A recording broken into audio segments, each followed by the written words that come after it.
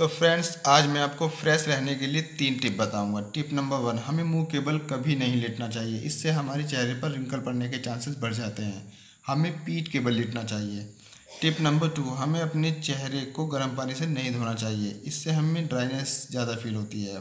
Tip number तीन, हमें अपने बालों को डेली नहीं धोना चाहिए। इससे हमारे स्कल का नेचुरल ऑयल ख़त्म हो जाता है।